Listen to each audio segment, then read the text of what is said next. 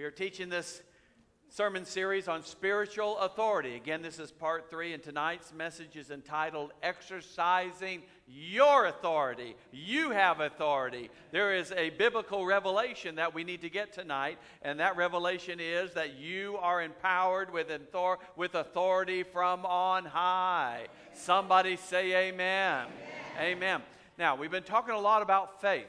And we spent weeks and weeks and weeks talking about faith. You know, the just shall live by faith. We walk by faith and not by sight. We're not driven by our emotions, we're driven by faith.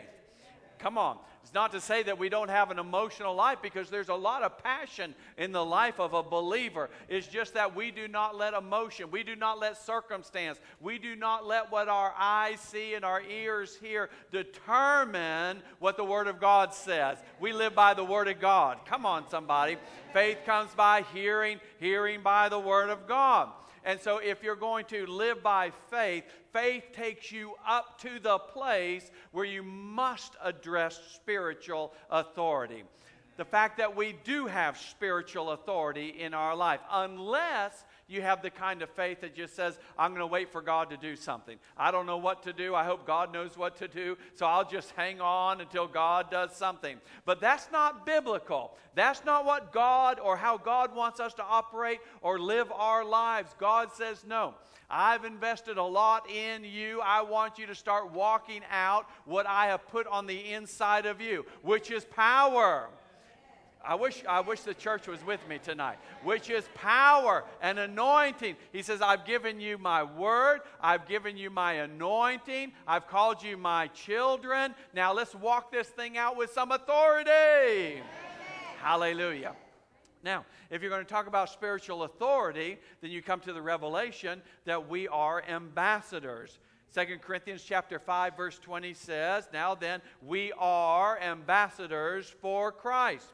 As though God were pleading through us, we implore you on Christ's behalf, be reconciled to God. That's a very powerful revelation. We are ambassadors for Christ. An ambassador is someone who represents their home country. They're living in a different country, but they represent their home country. They speak for their king. They represent or promote the policies of their king. They represent the culture of the kingdom. So even though they're living in a foreign land, they, their citizenship, their culture, their language, their, their uh, priorities are all about the home country. Did you know your citizenship is in heaven? Yeah, we're in the world, we're not of the world.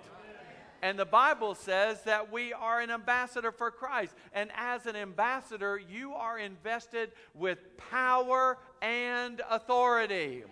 You have that right now, whether you know it or not. You have power and authority in Christ Jesus. Hallelujah. So when you speak for the king, you speak with power, you speak with authority. When you promote the policies of the king, you promote with power and authority. When you represent the culture of the kingdom, you do so with power and authority. Hallelujah. Say with me, I have power, and authority, in Christ Jesus. Now, this was always God's plan. This is the way God designed things in the beginning. If we go way back to Genesis chapter 1, we see that God created man. Genesis chapter 1, verse 27. And so God created man in his own image. In the image of God, he created him. Male and female, he created them. Verse 28. And God blessed them.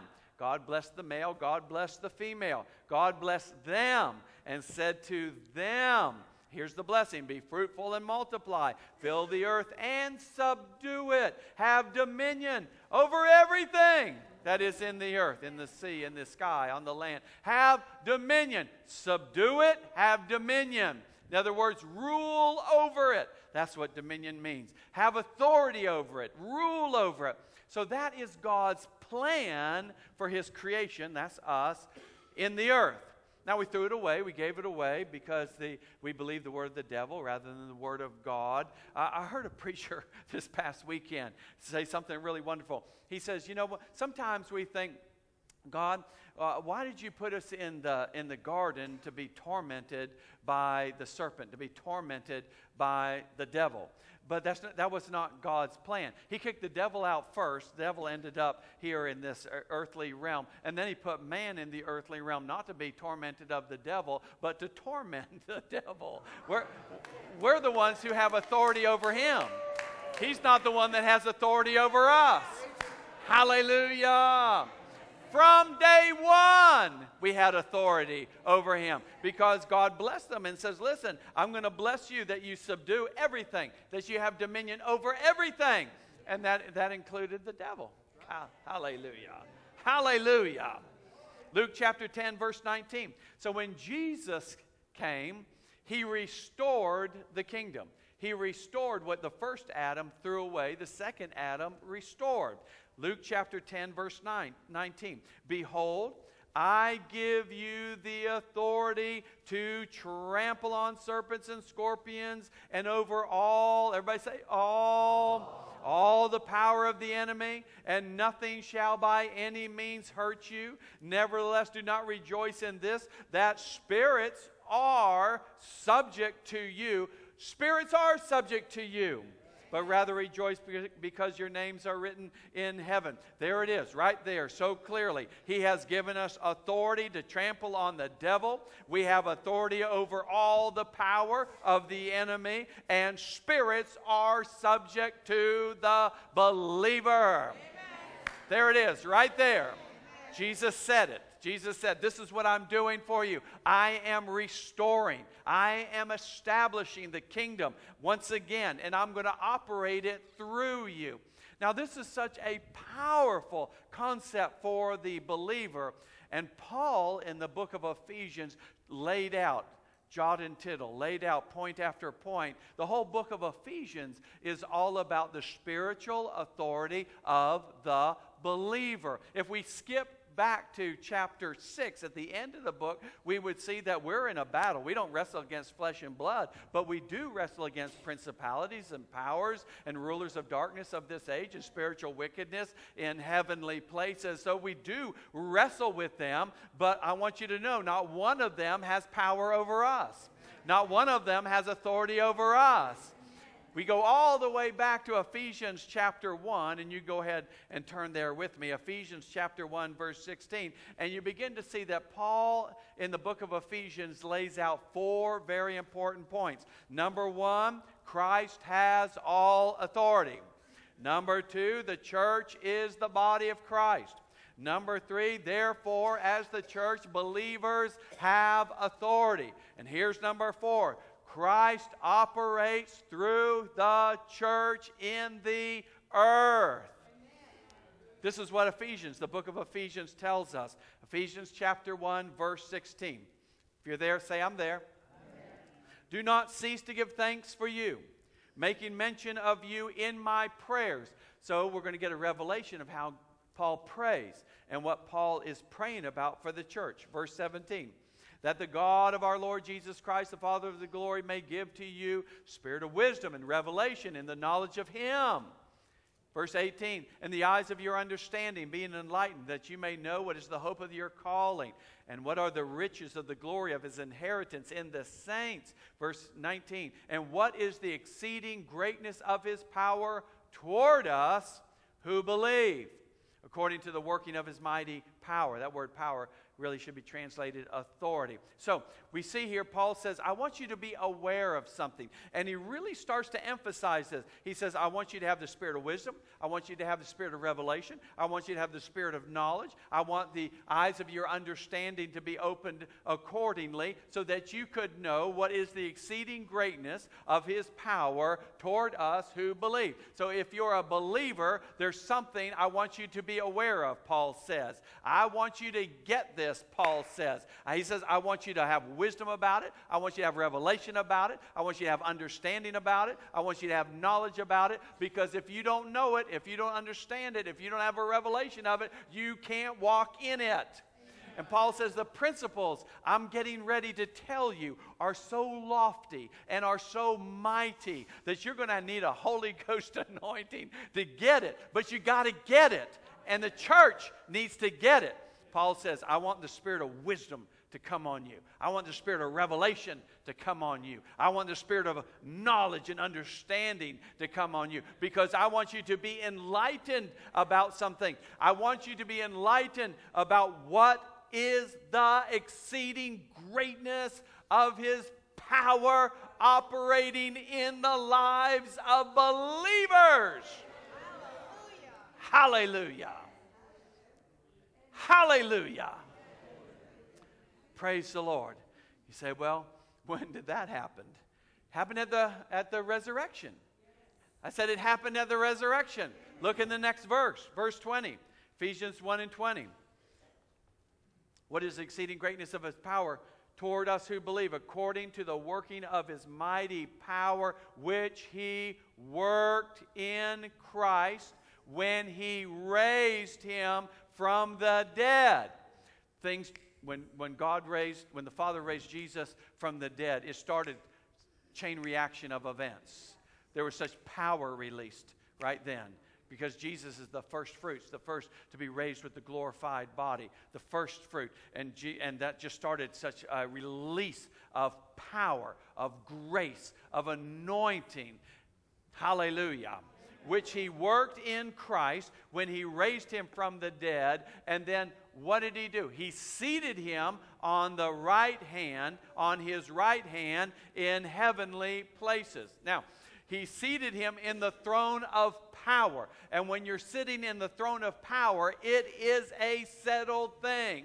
It's done at that point. It's been established at that point. When the king sits in his throne, his kingdom is established.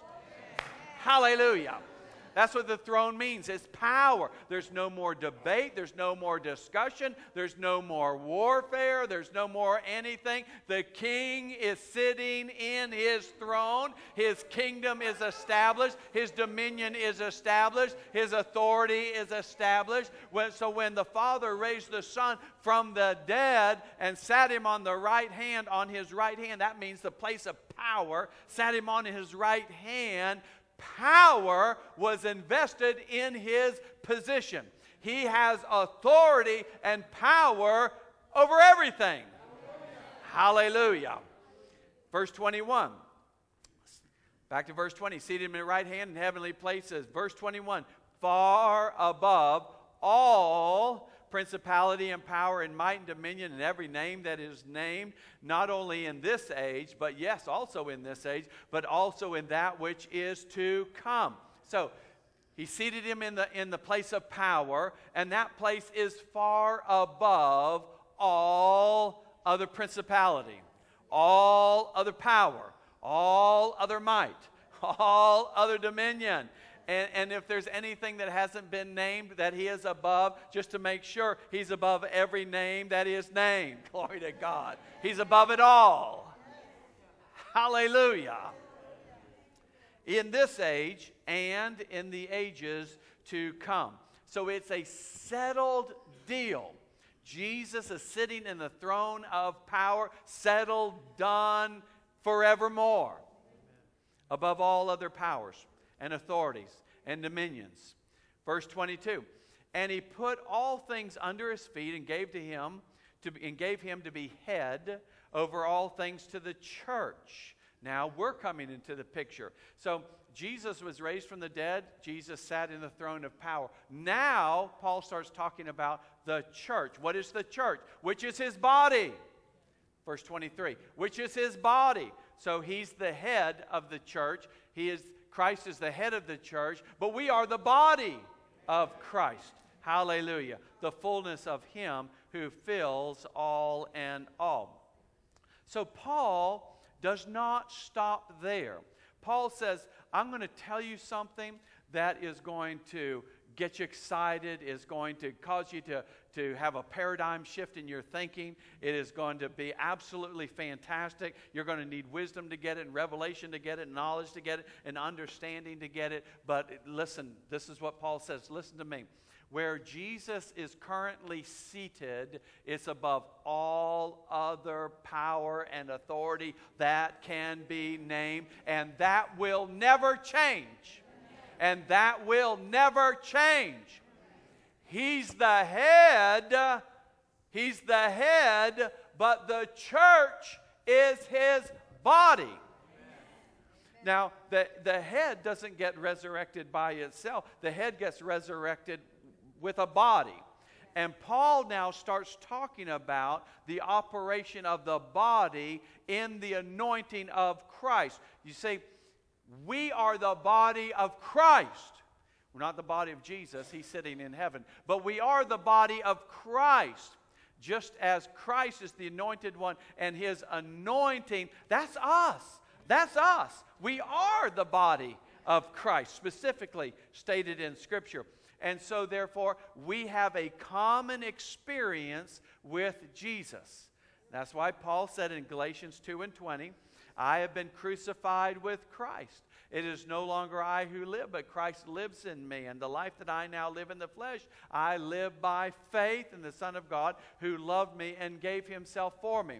So Galatians said, I, have been crucified with Christ. I've had the same experience that Christ had. When he was on the cross, I was on the cross. My sins went to the cross with him. I am in Christ by faith. I am in Christ. And so, therefore, I have been crucified with Christ, and my sin life remains nailed to the cross. I don't have to walk around in that anymore. That would be good news right there. We don't have to go any farther. But Paul does go farther. He goes way farther than that. Look with me again in, in Ephesians chapter 2. You see, we're just marching through Ephesians here. We're marching through Ephesians. We, we found out at the beginning of Ephesians, Paul says, I'm praying that you get a revelation of something. Then we read a little farther. The revelation he says, I want you to get is that Christ is enthroned in heaven and he is seated in authority above all other authorities in the universe. Now, watch this Ephesians chapter 2, verse 5. Even when we were dead in sins, uh, he made us alive together with Christ. So everybody say together. For by grace you have been saved. Verse 6 and raised us up together. Everybody say together. And made us sit together. Everybody say together. In heavenly places in Christ Jesus. So, okay, I was crucified with Christ. I was made alive in Christ. I was raised up together with Christ. And where am I now? I am seated. Are you getting it? I am seated together with Christ in heavenly places. Now, where is he seated? Far above all principality and power, above every name that can be named. I'm seated with him. I'm seated with him. And not just as a visitor, but as a part of his body. I'm, I'm not, I, I, haven't, I haven't just squeezed myself in. When I'm sitting in my lazy boy chair at home, one of the dogs will come and wants to squeeze herself in beside me because she likes to sit there. And she squeezes herself in. And then another dog comes up and jumps up on my lap and sleeps on my lap. So I got a dog squeezed in and I got a dog on top of me. But that's not what we're talking about here. That, I said that's not what we're talking. What we're talking about is that we are seated with him in heavenly places because we are his body. Hallelujah. Well, it's somewhat figurative in language, but it's actually true in reality in authority. He's, his authority is established forever, far above we're seated with him in that throne of authority, so we're operating in the same authority that is far above. You have authority above the power of sickness. You have authority above lack, limit, and loss. You have authority above all manners of oppression and depression. You have authority, someone should be saying amen. You have authority above every name that is named. Hallelujah. Hallelujah. And made us to sit together in heavenly places in Christ Jesus. Now, go to Ephesians 3 and verse 19. To know the love of Christ, which passes knowledge, that you may be filled. Ooh, Oh, well, certainly the body should be filled with all the fullness of God if we are the body of Christ. Doesn't that make sense? Verse 20, now to him who's able to do exceedingly abundantly above all that we ask or think, according to the power that works in us. There is an operation of power in your life, working in you right now. Hallelujah. Hallelujah. To him be the glory in the church by Jesus Christ to all generations forever and ever. And everybody said, Amen. Now, we go back to what Paul prayed. Paul, isn't this a tremendous revelation?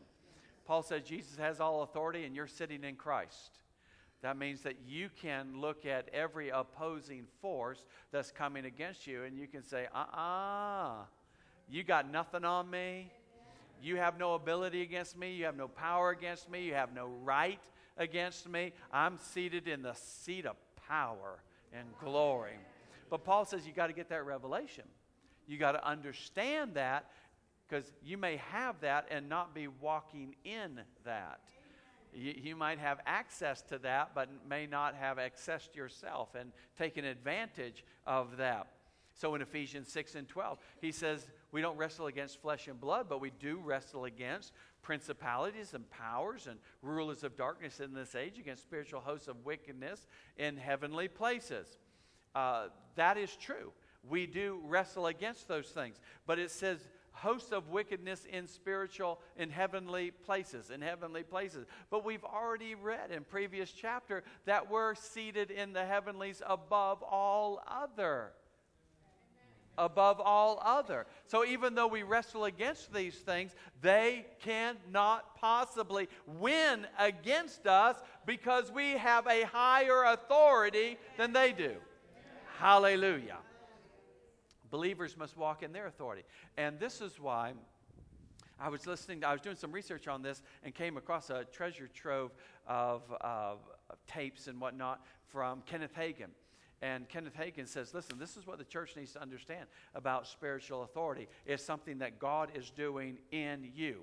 It's something that God is doing through you. God, the head, Jesus, the head of Christ, operates through the body of Christ, and he uses his body to operate in the earth. And so we, as the body of Christ, must operate in the authority that we have. You don't hang around and just wait, God, do something. God is waiting for us to do something. You say, you know, just hang on until Jesus shows up. No, Jesus has already showed up. He's in you. You have his authority. Hallelujah. Turn back to Luke 10 and 19. Believers must walk in their authority. Say, I will. Walk, in my authority. in my authority. Luke chapter 10, verse 19. Behold, I give you the authority to trample on serpents and scorpions over all the power of the enemy. Who does he give the authority to? To us. Yeah, to us. He, he says, I give it to you. Verse 20. Don't rejoice in this that spirits are subject to who? To you. Jesus gave us authority, He gave us power over all the power of the enemy. He said, I give it to you. And spirits are subject to you. Look with me in Mark chapter 16, verse 17. And these signs shall follow those who believe. Say, that's me. Say, I'm a believer in my name, they will cast out devils. The, the first thing that they do in his name is cast out devils. Who does it? The church does it. They will. He didn't say, wait till I come down from on high, I'll do it for you. No, he says, i have already given you the authority. I've already given you the power. You're seated in heavenly places in me. So I want you to do it. You're the body of Christ. You do it. Hallelujah. You see, that takes the question marks out of our prayer. You know, God, how should I pray over this? how, no, God says you should be demanding, you should be declaring, you should be speaking to that thing, and you should be telling that devil, you get on out of here. You tell that sickness, you get on out of here. Listen, what did it say about Jesus? Is that how God anointed Jesus of Nazareth with the Holy Spirit and with power, who went about doing good and healing all who were oppressed of the devil. The devil brings plenty of oppressions in our life, but we are to rise up and say, uh uh-uh, uh, not here. I don't receive it. You can't put that on me. You have no power to put that on me. Hallelujah. Hallelujah. These signs shall follow those that believe. That's, that's us. In my name they will. They will. They will. They will. The believer will. They will cast out demons. So on and so forth. They will lay hands on the sick and they will recover. Hallelujah. Hallelujah. Matthew 16 and 18. Jesus said, Peter, who do people say that I am? Who do you say that I am? Thou art the Christ, the Son of the living God. Well said, Peter. Upon this rock of revelation I shall build my church. Go ahead and put it up there again. I also say to you that you are Peter, and on this rock I'll build my church, and the gates of hell shall not prevail. Verse 19. Matthew 18, 19. I will give you the keys of the kingdom of heaven. Who does he give them to? You, to us, to the church, to the church that he's building. Hey, church, I'm going to give you some keys. Hallelujah. I'll give you the keys of the kingdom of heaven. And whatever you bind shall be bound. Whatever you loosed shall be loosed.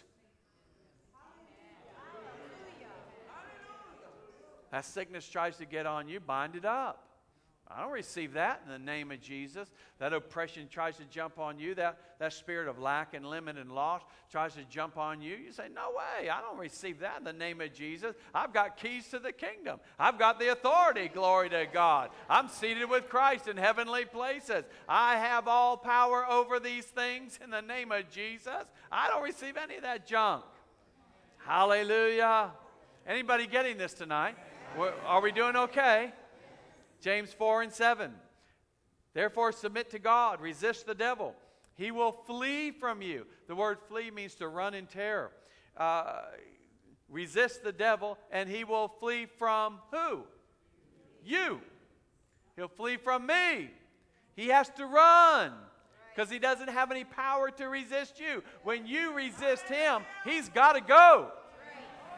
You say, No, I don't receive it. I resist you. I push back against you. I'm not letting you in the door. No. Hallelujah. No. Everybody say, No. No. no. I resist you, devil. And the only thing that he can do is run. He will flee from you, run in terror. Ephesians 4 and 27. Don't give place to the devil. Don't give permission for the devil to get in your stuff, get in your life, get in your head. Get in your vocabulary. Don't give the devil permission. Amen. It says, nor give place to the devil.